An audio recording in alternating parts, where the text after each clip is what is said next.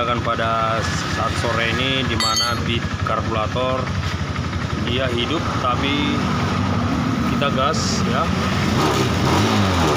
Biar rodanya tidak jalan. Kita akan periksa dulu di bak CVT nya kira-kira apa permasalahannya ikuti video kita jangan sampai ketinggalan. Oke, sebelum kita lanjutkan video kita, tetap kita katakan salam sehat, salam sukses, dan jangan lupa like, komen, dan subscribe ya. Dan jangan lupa juga tekan tombol lonceng untuk notifikasi video-video berikutnya. Dan terima kasih banyak juga buat kawan-kawan ataupun saudara-saudara kita yang sudah dukung channel kita ini, biarlah kiranya channel kita ini dapat menambah wawasan kita tentang seputaran otomotif. Salam sehat, salam sukses, salam kuku hitam. Salam sehat. Oke. Okay.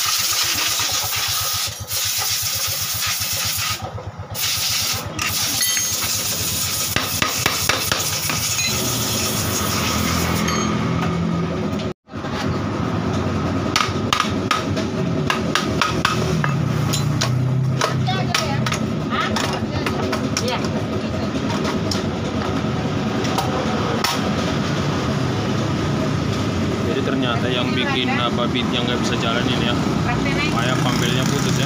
Ini dia, Asli, Nek. pampelnya putus. Nah inilah jadi inilah salah satu yang bikin uh, Honda Beat yang bisa jalan. Nah. Jadi sepeda motornya hidup tapi motor hidup tapi tidak bisa jalan. Oke. Jadi cara cara membukanya kita menggunakan nah, ini ya striker manual ya. Jadi untuk pemula-pemula menggunakan striker seperti ini masih bisa ya, masih bisa dipakai.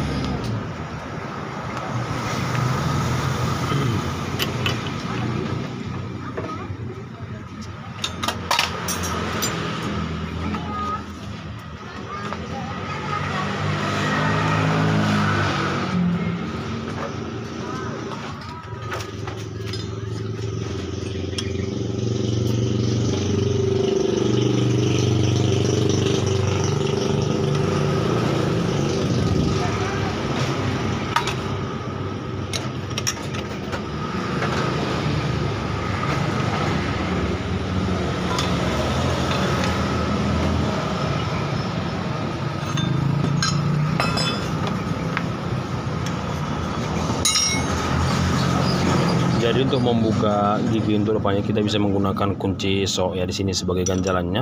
Nah, kita bikin ganjal supaya penahannya ya. Jadi tidak mesti kita menggunakan striker.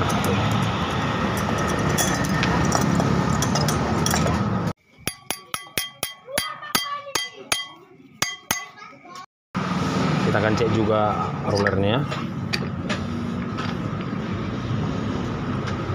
Karena rollernya masih bagus.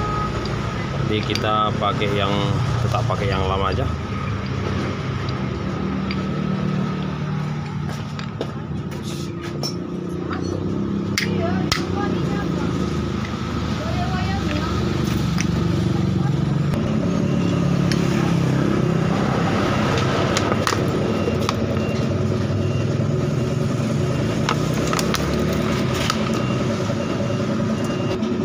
jadi setelah siap kita bersihkan tadi karena udah dia kotor ya banyak olinya sekarang langsung kita congkel seal ya yang di mana dia bocor ya. Kita keluarin langsung seal asnya. Nah, dia langsung gampang ya congkelnya. Jadi inilah salah satu yang bikin uh, bak CPT-nya bocor ataupun merembes atau ketika sering parkir di rumah oli dari bak CPT sering keluar. Inilah dia jadi inilah seal yang mau kita ganti itu ya yang mana kode PAB itu dengan vario vario kalau bit ataupun bit depan sama ya kalau seal untuk kuras sebelah kirinya. Ini bakalan kita pasang untuk mengatasi seal bak CPT yang bocor. Dan ikuti caranya bagaimana dia setelah kadang keseringan setelah dipasang mau tidak bocor. Nah, cara pemasangannya jangan sampai mereng kita putar ya biar nggak mereng dia. Nah, langsung kita tekan.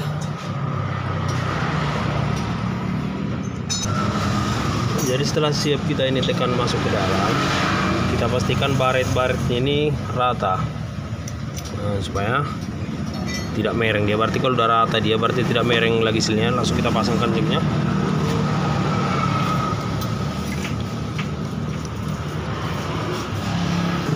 jadi demikianlah cara penyasangan seal ya seal yang benar pada seal keras nah langsung kita pasang ya.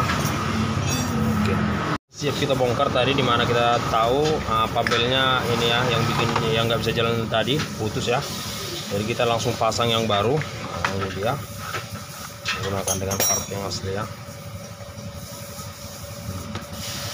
Nih sudah pasang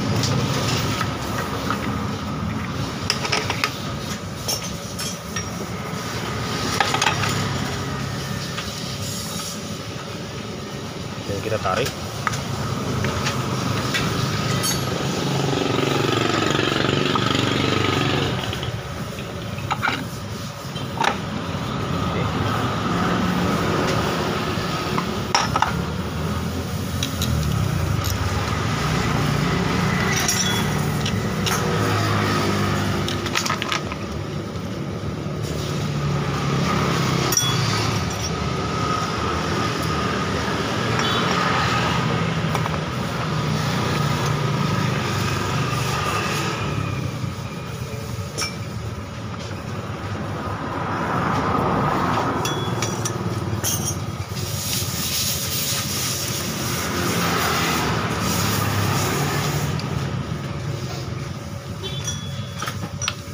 jadi poros pengunciannya pun sama ya. Nah kita menggunakan tadi kunci 10 sok ya sebagai striker untuk menahan daripada untuk menguatkan daripada asnya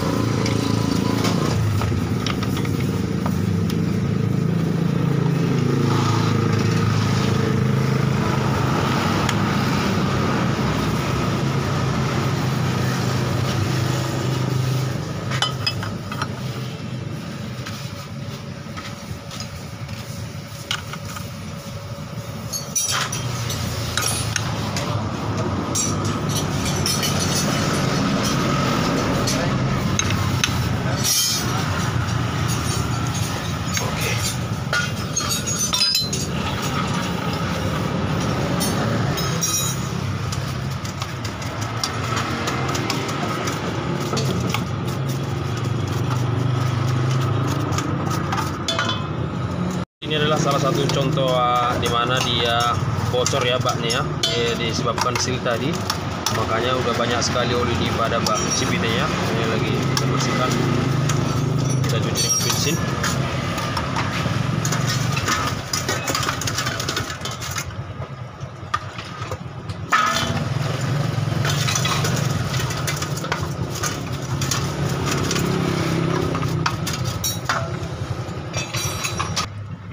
jadi berhubung sudah bersih. Langsung kita pasangnya. Kita kasih gembung sini oke langsung kita pasang terus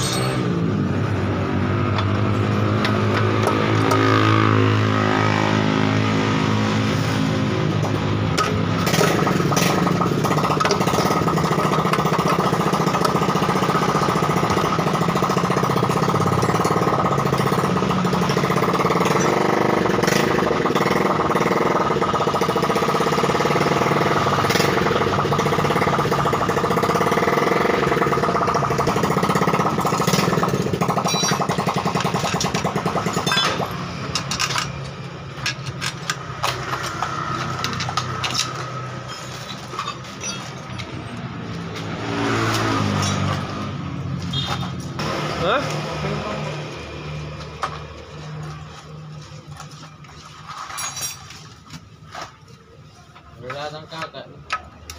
Ah, para situ kayak pengen nakin.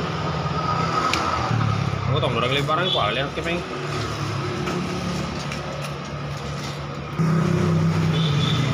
Oke sebelum kita pasang bot-botnya kita tes dulu hidupnya apakah udah langsung jalan rodanya